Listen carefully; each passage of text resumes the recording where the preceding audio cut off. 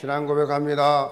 주는 그리스도시요 살아계신 하나님의 아들이십니다. 아멘. 아멘입니까? 이 말은 여러분이 예수 믿는 순간에 모든 세상 저주, 재앙, 가문의 저주 다 끝나고 이제는 하나님의 자녀가 되었다. 해방되었다. 그 말이에요. 이 고백이 여러분 늘 삶 속에 있기를 바랍니다. 우리 어, 온라인 예배 드리고 또 해외 승도를 가져 서로 인사합시다. 영의 사람이 됩시다. 이 말에는 굉장히 중요한 의미가 많이 들어있어요. 영의 사람이 되어야 현장 전도 제자가 될 수 있기 때문에 여러분 육의 사람이 아니라 육은 무익하니 육은 무익하다 그래서 육은 아무 소용없다 무너져 없어질 것입니다. 서론 인생 왜 서론 인생 살아요? 본론 인생 살아야지. 이제부터 본격적으로 예외를 통해서 변화되기를 바랍니다.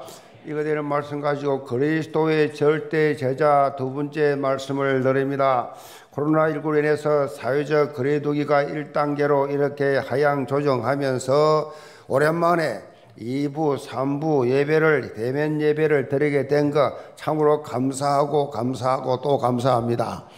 얼마나 실감이 안 가는지 어색하기 짝이 없어가지고 이부 때는 이게 꿈이냐 생시냐 그야말로 전에는 경험하지 못했던 개척하고 교회를 그냥 당연히 주일날 되면 교인들이 가득가득 차는 거로 그렇게 생각했는데 이 코로나 때문에 완전히 교회가 그냥 초상집이 돼가지고 아무도 없고 벽만 쳐다보고 설교하니까 야 어떻게 이럴 수가 있을까 그랬는데 여러분이 나와 대면 예배 되니까 이게 천국인가 하노라 아, 코로나로 인해서 우리가 여러 가지 뭐 다양한 일들을 많이 겪어야 되는데 그 가운데 우리가 여기서 영적 교훈을 받는 부분이 있어요. 그게 뭐냐면 눈에 보이지도 않는 바이러스. 이 코로나가 눈에 보입니까? 보이지도 않아. 보이지도 않는 이 바이러스 하나 때문에 75억 인구가 사는 지구가 멈춰버렸어. 멈출 정도가 아니라 완전히 난리가 나서 불안 초도 속에 오늘 또 지금 오늘 뉴스도 막 지금 유럽은 미국보다 더 많이 지금 확산되고 난리가 나고 있어 지금. 다섯 명 이상 모이지 못하게끔 모든 레스토랑 모두 다 문 닫고 난리 또 난리 제2의 시작이 됐어. 자 이거는 막 그냥 사람들이 침투하는데 미국 대통령인데 저 영국 총리에게 유명한 인사에게 뭐 재벌에게 사정없이 그냥 다 들어닥치니까 전 세계에 이 보이지도 않는 바이러스가 큰 충격을 지금 주고 있습니다. 지금 시대가 어느 시대입니까? 제4차 산업혁명 시대라 최첨단 과학시대 그야말로 인간이 만든 이 지혜가 총집결되어서 사람이 상상도 하지 못할 이, A, 이 그야말로 AI 시대에 사람보다 더 유능한 어? 그야말로 이 이세돌이가 우리나라의 이 바둑의 1인자인데 아이에게 뭐 아이에게 지고 나서부터 바둑 그만두었어. 은퇴해 버렸어. 기계인데 지고 지고 진 내가 무슨 또 바둑을 계속하냐? 은퇴해 버렸어요. 사람에게 질 정도로 이렇게 사람에게 이길 정도로 이렇게 사람의 이 만든 기계들이 이렇게 사람을 능가하는 그래서 인간의 교만이 바벨탑을 창세기 10장에 만들 때처럼 엄청나게 교만한 이 시대에 바이러스 하나 가지고 완전히 다 무너져 버려요. 이 인간이요. 아무것도 아닌 인간이거. 눈에 보이기만 해도 좀 덜 할 텐데 보이지도 않는 뭔가에 의해서 다 무너져. 헤로드 왕이요. 그냥 그 왕이라고 금방 떨면서 전도자들을 막 핍박하고 죽이니까 하나님이 그날 밤에 벌레 한 마리 넣었어요.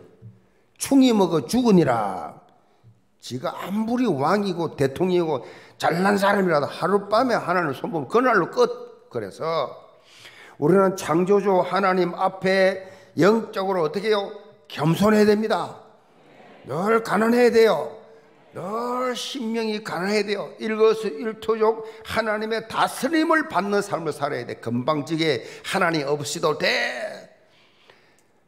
하나님 없이는 나는 한 방울도 움직, 움직일 수 없어. 이래 돼야 돼요. 그 핵심이 뭐예요? 어떻게 하면 겸손하게 하나님 앞에서 임발할 수 있습니까?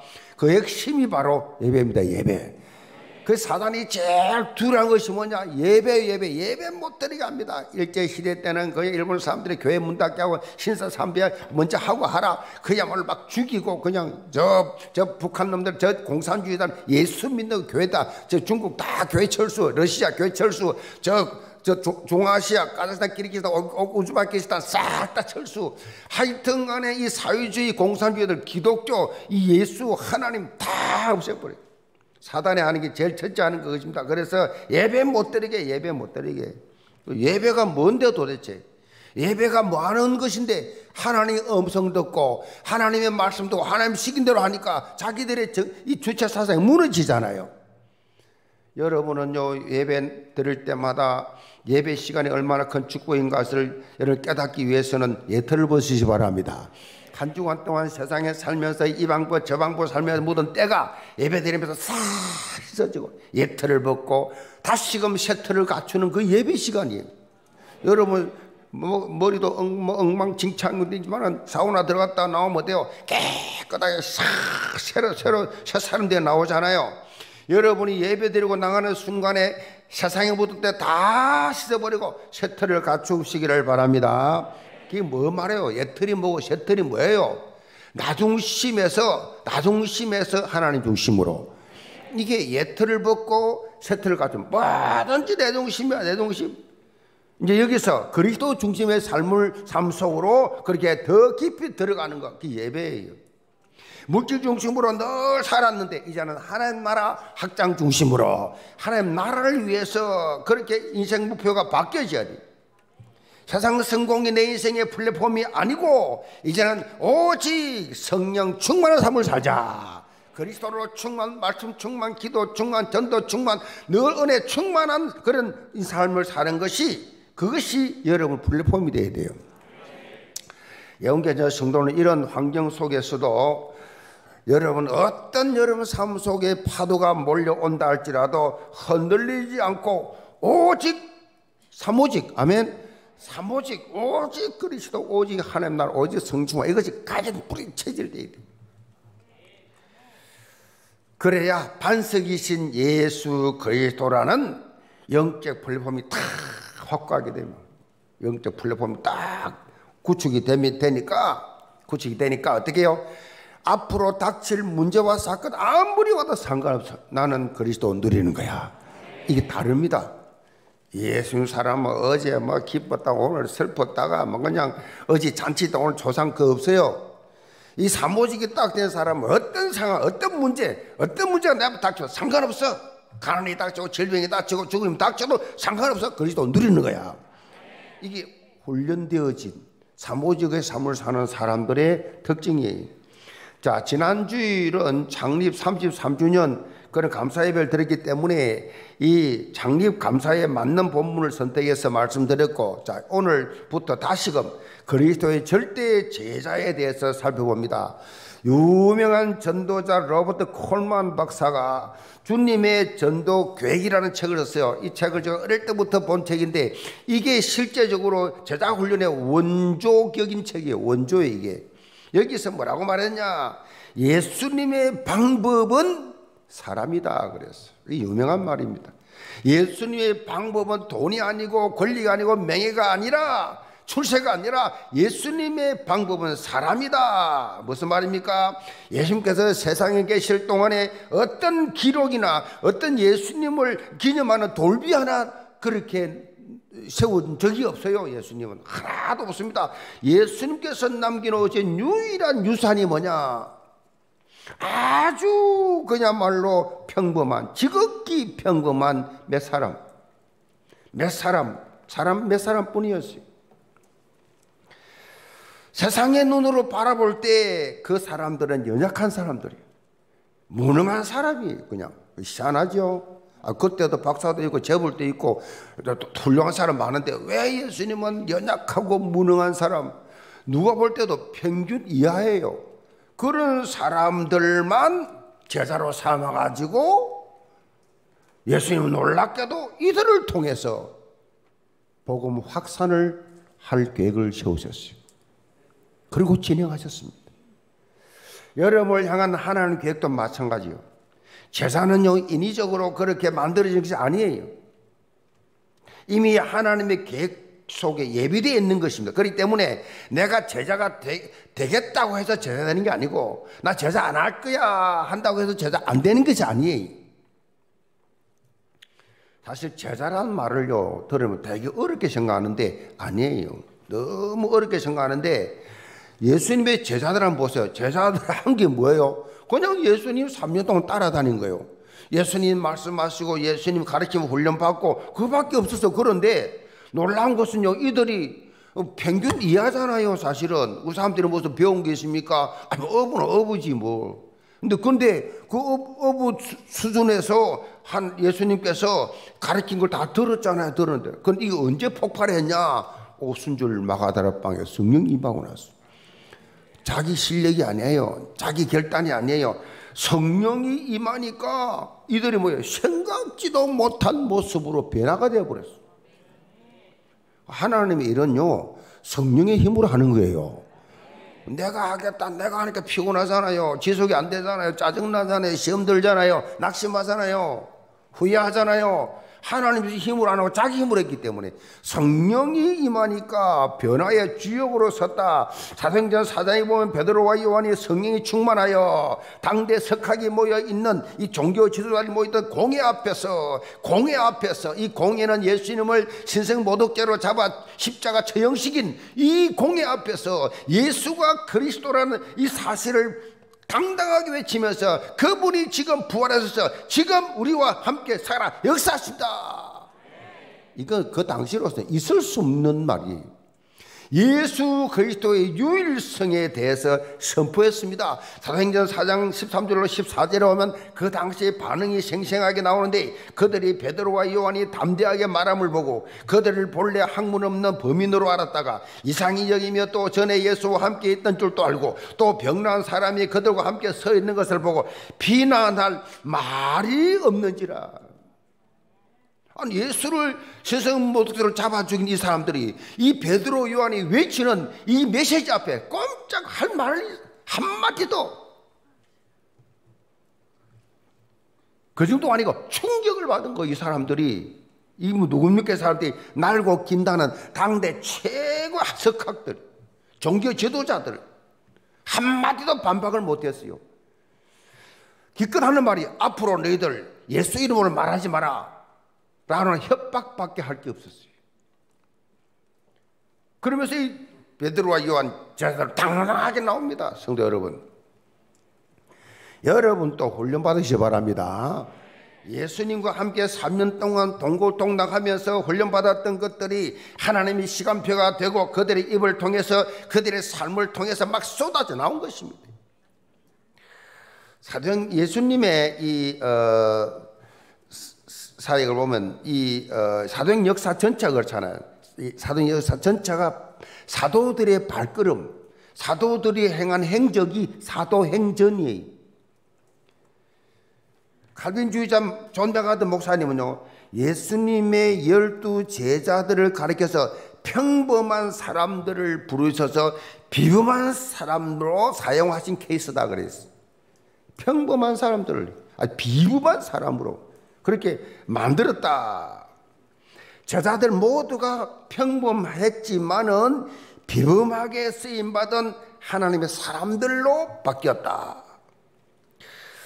주의 성령이 임하면 뭐요? 권능받고 그랬어 주의 성령이 임해야 권능을 받고 권능을 받아야 예루살렘 유대 사마리아 땅까지 이르러 뭐 정인되는 겁니다. 그 주의 일은 주님 주님 힘으로 해야 돼요. 주 주님 주님 힘으로 해야지 그래서 늘 기도하는 이유가 뭡니까? 주의 힘 주시옵소서. 십자가 지었던 예수님마저도 십자가 지을 수 있는 힘을 주십시오. 하나님의 일을 이룰 때는요, 내가 한다는 넘어집니다. 내 의로 하면 넘어져요. 고집 피우지 마세요. 주장하지 마세요. 그거 다 전부 다 넘어질 사람이 얼마 못 갈 사람이에요. 무슨 갈등을 합니까, 감히? 그렇게 비판하고 판단할 그런 자격을 준 적이 없어요. 하나님이 절대 주권 믿고 따르시기 바랍니다. 성령이 임하면 권능 받고 뭐뭐좀뭐좀 뭐 좀 배웠다는 사람이 좀 세상적으로 좀 잘 나간다는 사람이 딱 교회 와서 뭐요 자기 마음에 안 들면 자기 기준에서 보는 거예요 교회를.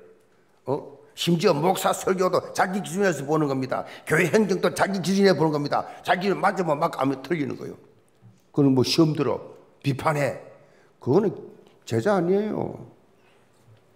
그거는 구원 받을지 안 받을지 모르겠고 어떻든 모든 게 자기 의로 교회 들어왔어도 자기 의로 이분은 주여 주여 하면서 실제로는 다 자기가 주인이야. 그러니까 넘어지고 자빠지잖아요. 여러분들이 하나님께서 주시는 힘을 얻으시 바랍니다. 권능 받고 성령이 임해야 그냥 주여 성령이 임하도록 성령 사실 할 게 아무것도 없어요. 우리 여러분 기도 하나만 하면 돼. 성령 충만 주옵소서. 성령 인도 받으면 끝나요. 성령 인도 성령 충만 받아 안 되니까 뭐야 돈 충만, 술 충만, 세상 충만, 세상 욕심으로 충만, 충만, 충만 그렇게 하니까 반 죽잖아요. 밤새 잠도 못 자고 매일 고민하고 걱정하고 영계 모든 성도들 매 예배 때마다 영적 이 훈련을 통해서 하나님의 시간표에 따라서 하나님의 손에 온전히 부들려서 비범하게 쓰임 받는 그리스도의 제자들 다 되시기를 제으로 축복합니다. 그럼 첫째로 최초의 순교자 야고보입니다. 2절을 봅니다. 열두 사도의 이름을 이러하니 베드로라 하는 시몬을 비롯하여 그 형제 안데레와 세베대 아들 야고보와 그 형제 요한 그랬습니다. 예수님의 자들 중에서 야고보가 두 명 나와요. 그래서 세베대 아들 야고보라는 이름이 있고 알페의 아들 야고보가 있습니다. 야, 두 야고보 그 이렇게 구분을 합니다. 자, 오늘 살펴볼 야고보는 세베대 아들 야고보예요. 이 야고보는 어부 출신입니다. 어부 출신 그 성미가 얼마나 급했더니 베드로보다 더 급한 사람, 급한 사람. 그래서 마가복음 3장 17절에 보면 야고보와 그 형제 요한 성질이 얼마나 급했던지 예수님이 별명을 지어줬어요. 보아너게다. 너희들은 보아너게다. 보아너게 무슨 뜻이냐? 우리의 아들. 하늘에서 우리 치잖아요. 우리의 아들이라. 그런 뜻이에요. 한마디로 말하면 우레같이 불같은 그런 성격이 소유자들에서 이 두 형, 이 두 형제가 그렇게 불같은 성격. 자, 누가 보면 구장에 보면 예수님과 제자들이 예루살렘으로 가는 도중에 사마리아의 한 마을에 들어갔습니다. 근데 이들 예수님의 일행들을 그렇게 이 사마리아가 받아들이지 않았어요. 어, 그 잠도 자야 되고 그 또 이렇게 식사도 해야 되는데 아예 받아들이지 않았단 말이에요. 그러니까 이러니까 얼마나 화가 납니까? 왜 그래요? 사마리아 사람들 유대인들을 간에 오랫동안 역사적인 이러한 적대 감정이 있었어요. 왜냐? 이 사마리아는 이 이스라엘 사람인데 이스라엘 사람들인데 남북이 나누어졌을 때에 이 여로보암 여로보암이 나누어져 나눠질 때에 저 아수르가 찾아와서 사마리아에 완전히 막 다 전부 다 같이 결혼해 버렸어요. 잡종을 만들어 버렸다. 오리지널 이 유대인이 아니기 때문에 이 남쪽에서는 저거 저 이스라엘 아니야라고 그래서 가지도 않고 상종을 안 해버렸어요. 그러니까 이 상처가 많이 사람들이. 그러니까 유대인들 자기들 무시하고 없어지긴다는 걸 알기 때문에 아예 적대 감정을 가지고 있었기 때문에 아예 안 받아줄 뻔한 거예요. 이때 야고보와 요한이 나서 가지고 뭐라냐 예수님 하늘에 불을 확 내려가 저다 태워 죽입시다. 이 성격이 그래요 성격이. 그렇게 하다가 예수님께 크게 꾸지람을 받죠. 어, 또 마태복음 20장 20절 이후에 보면 야고보의 어머니까지 나서가지고요. 지금 예수님이 갑자기 막 유명해지잖아요. 막 성성장구하지 가는 곳마다 구름대까지 사람들 몰려고 하니까 예수님이 앞으로 큰 왕이 될 것 같고 막 이렇게 어, 높은 자리에 올라갔더니까 예수님 성공하거든 우리 아들 두 아들 이, 이, 이 야고보 요한 이 두 아들 오른편 왼편에 앉혀 주십시오. 이렇게 하다가 제자들이 제자들도 동기가 꽉 찼는데 그만하니까 굉장히 막 분노하는 그런 장면이 나오잖아요. 요새 말하면 치맛바람을 일으킨 거요. 자, 이런 정도로 이 집안이 좀 독특했습니다. 자, 이렇게 인간적으로 볼 때 어떻게 해요? 참 비호감이죠, 비호감. 이 비호감인 이런 어, 가정이고 그런 사람이었는데 이 야구부에 한 가지 장점이 있었어요.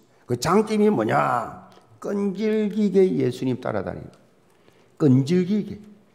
예수님이 가는 곳이다. 어디든지 갔어요. 그래서요, 베드로, 야고보, 요한 이런 마치 한 세트처럼 그렇게 예수님께 붙어 함께 다녔어요. 예수님이 변화산에 올라가 변형되실 때도 그때도 다른 제사들 밑에 있고 베드로, 야고보, 요한 함께 있었어요. 야이로의 딸을 살릴 때도 부활의 메시지를 증거할 때도 현장에 이들은 있었어요. 또 예수님께서 십자가 고난을 이제 앞에 두고 하나님 앞에 그냥 개세만의 독산에 땀이 빗방울 때 기도할 그때도 이 세 사람은 같이 있었어요. 예수님과 같이 있어요. 이 야고보를 통해서 우리는 제자의 길이 어떤 것인가 하는 것을 살펴볼 수 있어요. 그거는 여러분이요 기질이 뭐 좋다 안 좋다 성격이 좋다 안다 신경 쓸 거 없어요. 그래 타고난 거는 그 하나님 다 알고 계시니까 그 타, 급하다 뭐 느리다 상관없어 관계없이 일단 여러분은요 예수님이 가신 길을 줄기차게 쫓아가시 바랍니다.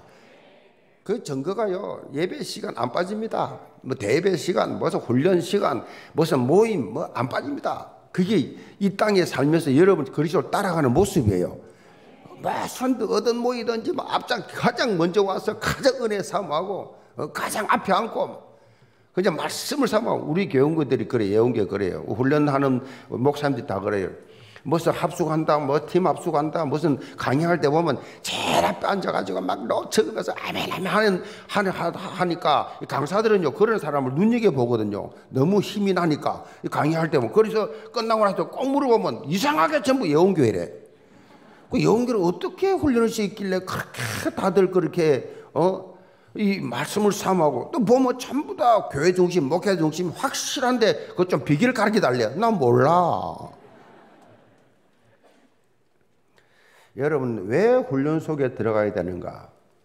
뭘 하든지 간에 뭘 하든지 간에 야고보처럼 지속해야 답이 나오게 되어 있어요. 응? 뭐 성질이 좋다 안 좋다 상관없어요. 열 끝까지 끝까지 지속을 하면 답이 나온다니까 지금 코로나19 가운데 온라인 훈련이 계속되고 있잖아요. 세가지 훈련부터 시작해서 중자 훈련, 랩런트, 기관 부서, 영적 성장을 위한 훈련이 지금 계속되고 있습니다. 뭐 저는 지난 주만 해도 뭐 매일 드라이가 나갔다니까 2, 3, 7에 매일 녹화하니까 뭐 계속 계속 끊임없이 그래서 이번 주간에 또 이렇게 이번 주일부터 저 4주간 오늘 오후 2시부터입니다. 코로나19 시대 지혜와 지식을 갖춘 온라인 특강. 온라인 특강, 우리 영 유튜브 채널 진행됩니다. 오후 2시에 건강 문제, 자녀 문 교육, 상담, 각 분야 최고 전문가들이 그렇게 시대에 맞는 이 콘텐츠를 가지고 말합니다. 우리 가족 같으면 또, 또 그리스도 말하겠지, 이렇게 아니에요. 아니니까 한번 새롭게, 새로운 걸 들어보세요. 여러분이 평상시에 말이요. 전도 대상자를 마음에 품고 있었, 다고 하면 요번에 접촉할 기회를 삼으세요. 그 평소 때 말하기 참 곤란하고 뭐 좀 교회 나가자 이거 곤란 이런 머뭇거리는 대상들이 있으면 우리 교회에서 지금 이렇게 아주 좋은 프로그램을 가지고 하는데 한번 이번에 한번 같이 한번 들어보자고 온라인 초청을 하세요. 그러면 이게 매주일 날 오후 2시에 딱딱딱딱 나오니까요. 좋은 내용들이니까 좋잖아요. 온라인 영상이 전도의 중요한 통로가 된다. 그런 말씀이죠. 사실 우리 교회만큼 확실하고 체계적으로 영적 훈련을 받을 수 있는 교회가 지구상에 별로 없어요. 이렇게 여러분 개인은 어떤지 몰라도 교회는 그렇습니다. 하나님 앞에서 정말 영적 깨어서 제사 삼는 사역을 계속하고 있다니까요. 모든 기관 부서가 다 그래요. 그렇기 때문에 여러분 진짜 축복받은 현장이 있다는 아셔야 돼요. 귀한 보화를 품고 있는 거 마찬가지로 마찬가지로 이 가치를 알게 되면요 여러분은 큰 응답 받아요. 아무리 말을 해도 못 알아도 돼지 앞에 진주를 던지는 것처럼 감각이 없어. 이 훈련이 얼마나 중요한데. 영적 성장을 위한 참된 보화가 여러분 손에 주어져 있다는 사실을 알고 놓치지 마시기를 바랍니다. 사도행전 12장 1절로 2절에 보면 야고보의 순교 장면이 나옵니다. 그때에 헤롯 왕이 손을 들어 교회 중에서 몇 사람을 헤아려 하여 요한의 형제 야고보를 칼로 죽이니 이 야고보가 예수님 열두 제자 가운데 첫 번째 순교합니다. 비록 불같은 성격의 소유자지만은 마가다나방에서 성령 임한 이후에 변화된 삶을 살았습니다. 예수님께서 부활하시고 난 이후에 야고보가 순교당하기까지 얼마나 걸렸느냐? 약 14년 걸렸어요. 14년 동안에 이 기간 야고보는 해외 주로 가서 해외 해외 주로 가서 유대인을 찾아가지고 복음을 그렇게 전했는데 주로 지중해 연안 스페인까지 갔어요. 연안을 따라서 그냥 바닷가 옆으로 쭉 그렇게 복음을 전했습니다. 그래서 이 스페인은 지금도 카톨릭 스페인 싹 카톨릭이 됐잖아요. 야고보를 어떻게 보느냐 수호 성인이다. 자기인데 제일 먼저 와서 복음을 전개해 준 사람이다. 수호 성인. 그래서 삼고 여러분 잘 아는 샌디하고 순례길을 그렇게 만드는 거 야고보 때문에 만든 거예요. 야고보에게는요 조개 껍데기를 그렇게 의미하는 조갑이라고 하는 별명을 붙였습니다. 별명이 있는데 왜 조갑이냐?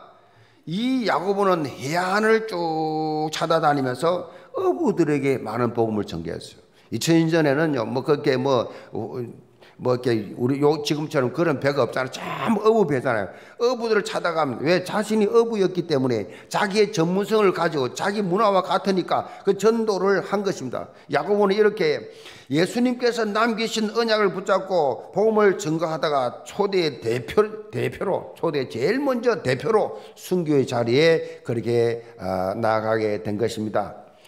뚝심이란 말이 있다. 뚝심. 사전적으로 말하면 굳세게 버티다가 버티거나 감당해내는 힘, 끝까지 버텨내는 그걸 감당해내는 힘, 이 뚝심 있는 사람이다. 그래서 뚝심 있는 사람은 어떤 역경 속에서도 굴하지 않고 자기가 해낼 부분을 감당하게 내는 그래서 참된 승리의 자리에 성공의 자리에 간다. 이 뚝심 사람은 성공해요 다. 이게 했다가 말고 저게 했다 말고 조금 조금 했다 말고 성공할 수가 없어요. 하나님 시간표로 못 기다리는 사람이에요. 한번 잡았다 그러면 끝장을 볼 수 있는 기질이 필요. 세상 말로도 한우물 파야 노다지 캔다 하잖아요. 뭘 하나 잡았다 하면 되든 안 되든 끝까지 가는 거예요. 그 성공합니다. 응? 제주가 너무 많아. 그 내물에 청년회장 저뭐 하나 너무 제주가 막 이것 됐다 저것 됐다. 아무 똑똑하대. 와 기획이 많고 막 굉장히 머리 좋대. 그래. 음. 물 하나 잡으면 이제부터 끝장을 봐. 이거 했다가 아니야 이거 했다가 언제까지 그래 언제까지? 주여 나에게 뚝심을 주옵소서. 영적 뚝심 아멘. 영적 뚝심 그거 있어야 돼요. 그거는요 이 무슨 말인가 하면요. 저도 별로 그리 뚝심 없는 사람이었어요. 뭘 하다가 말고 좀 하다가 말고 이런 체질이었는데 이 성령 체험하고요. 기도하면서 하나님께서 은혜를 주시더라니까요. 체질을 바꿔 체질. 성공 DNA로 바꿔줘 버려 바꿔줘. 이 바꿔주시더라니까. 아, 그렇구나. 내가 나를 보고 놀라는 게 있죠. 한번 봤다면 끝까지 가는 거예요, 끝까지. 그 그렇게 되더라니까. 내가 그런 사람이 아니에요, 원래는. 근데 성령은 아, 그렇게 성공할 수 있는 DNA로 바꿔주시는 거구나. 참 복음의 진리를 붙잡았으면 이 복음을 위해서 생명건 헌신의 자리로 나가는 그런 삶이 되어진다. 영계 모든 성도들 야고보처럼 영적 뚝심을 가지고 변함없이 일심전심 지속으로 생명건 헌신의 삶 속으로 들어가시기를 제물로 축복합니다. 두 번째로 살아있는 선교자 요한입니다. 요한은 야고보의 형제였어요.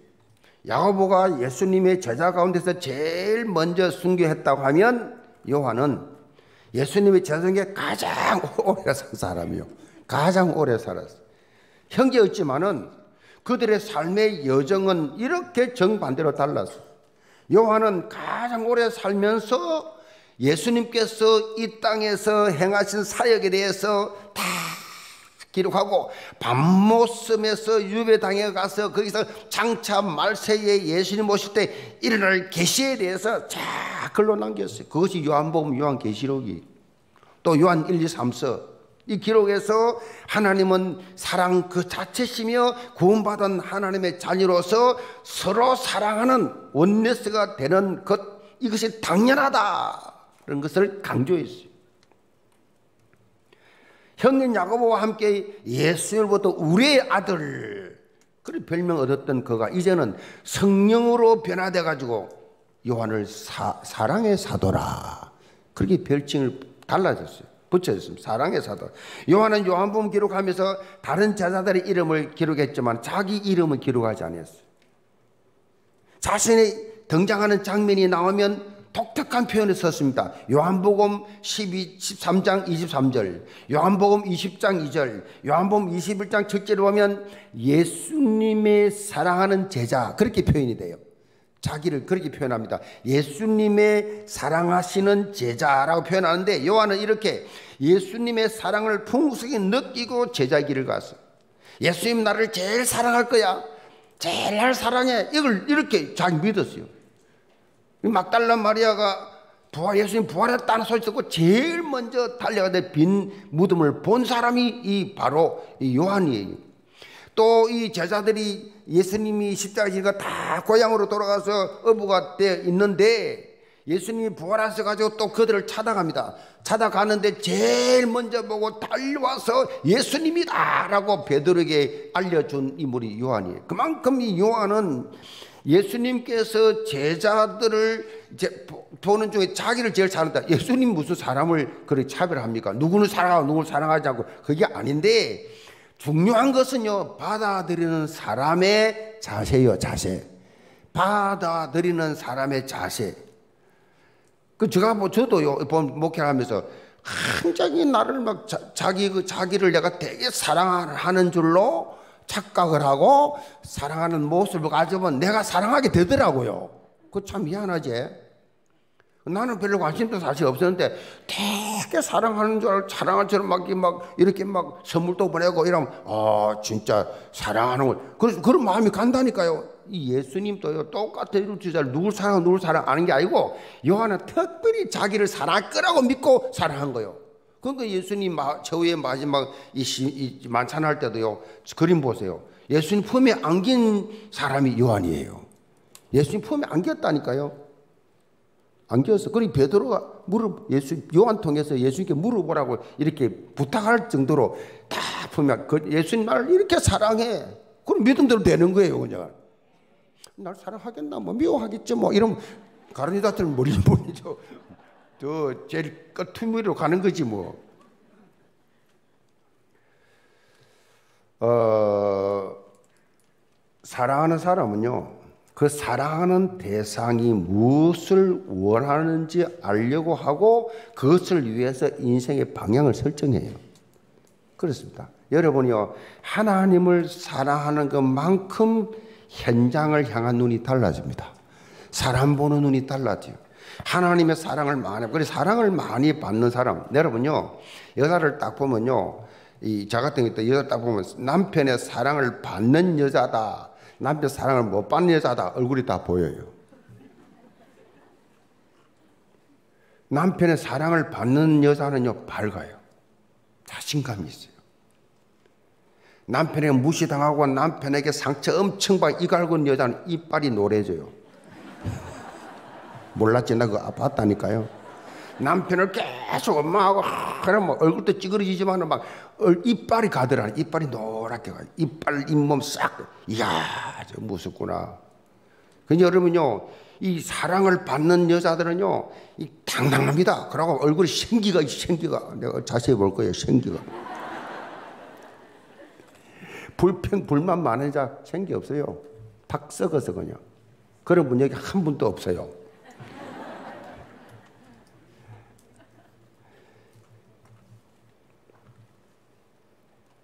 여러분이요, 하나님을 사랑하게 되면 하나님 주시는 사랑을 받아가지고 늘 생기 넘치는 삶을 살게 돼요. 그러니까 불신자가 볼 때 어쩜 뭔가 다르다. 어떻게 내하고 좀 다르네. 똑같은 환경인데 어떻게 저 친구는 저렇게 늘 즐겁고 저렇게 어, 생기 발랄하고 저렇게 긍정적이고 저래 살까? 같은 직장에 같은 환경에 같은 똑같은 대우를 받는데 어떻게 저래 다를까? 그게 너희는 세상의 빛이에요, 빛. 빛이니 다릅니다. 하나님 사랑받는 사람은요, 뭐 비타민 아무리 많이 처먹고 그래도 외국, 외국 화장품 떡을 쳐도 안 나와요, 그 얼굴이. 그래, 안 나옵니다. 다릅니다. 여러분, 하나님 사랑만 받으면요, 확 은혜 받으면요, 말씀 은혜 받으면요, 사람이 확, 마음이, 생각이 확 풍성해지 열리면서 빛 같다니까 빛이 그죠? 빛이 빛이 난다니까요. 요한은 마가다라 방에서 성령 강림 이후에 담대히 현장에 나가 이 사도행전을 읽어보면요 바울이 등장하기 전까지입니다. 다메섹으로 가던 이 사울이 꺾어지는 사도행 9장 이전에까지 이 성경을 보면요 초대교회 역사의 주역이 누구냐? 베드로와 요한이 계속해서 베드로 요한 사도행전 3장부터 보면요 계속해서 베드로 요한 베드로 요한 반복해서 표현되기 반복 이렇게 복음을 전하다가 붙잡혀서 밤모섬에서 귀향하게 되기, 되고 거기서 성령 감동을 받아 요한계시록 쓰게 되는데 요한은 다른 제자들과 달리 다 순교했지만은 요한만 순교 안 했어요. 아마 예수님이 제일 사랑하니까 예수님이 그렇게 봐준 것 같아. 너는 죽지 마라. 끝까지 가라, 끝까지. 그래가지고 순교는 안 했지만은 오히려 오히려 오히려 승, 살아있는 순교자로서 주의 복음을 실제로 현장에서 글로서 전하면서 예수님께서 부탁하신 정인의 삶을 확실하게 살았다. 예, 우리 영계 모든 성도들 사도 요한처럼 하나님의 풍성한 사랑을 마음껏 체험하면서 각자 삶의 현장에서 각자 이루신 달란트를 개발해서 하나님의 영광을 더 높이 드리는 살아있는 순교자 삶을 사기를 제문으로 축복합니다.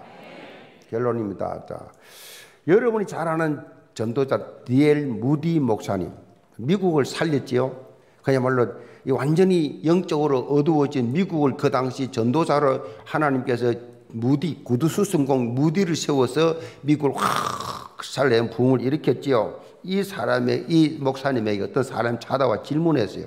목사님, 순교 상황이 오면 순교할 자신이 있습니까? 라고 목사님께 감히 질문했어요. 그랬더니 디엘 무디 목사님 나는 순교할 믿음이 없습니다. 라고 대답했어요. 그러니까 아니 이 사람이 말해 아니 어떻게 목사님이 순교할 믿음이 없다고 하십니까? 그러자 디엘 무디 목사님이 이렇게 답변했어요. 지금은 순교할 때가 아니라 전도할 때입니다. 순교할 때가 되면 순교할 믿음을 주실 것입니다. 그러나 지금은 전도할 때기 때문에 전도할 믿음을 가지고 삽니다. 그랬어. 그렇습니다. 지금은 뭐요? 전도할 때입니다. 지금은 선교할 때입니다. 237 현장 빈 곳을 채워야 될 너무나 많은 그 현장, 생명 살릴 일에 우리는 나가야 됩니다. 복음을 전하다 보면요, 희한한 일이에요. 하나님 일을 하다 보면 그래요. 상대방 살리러 갔는데 내가 살아나요.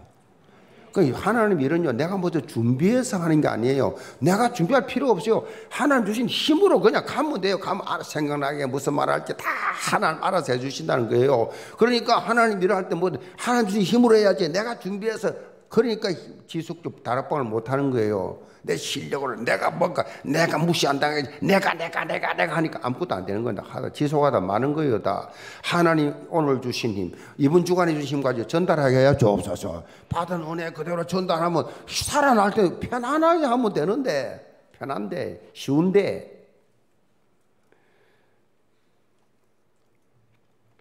생명을 살리는 일을 하면요 하나님이 보시고 먼저 내게 은혜를 주세요 먼저 힘을 주신다고요 상대방 살리기 위해서 내가 시간대로 물질인데 하나님 저에게 더 힘을 주고 더 기쁨을 주시고 이걸 체험 해야 돼요. 이게 전도와 선교 속에 있는 비밀이에요.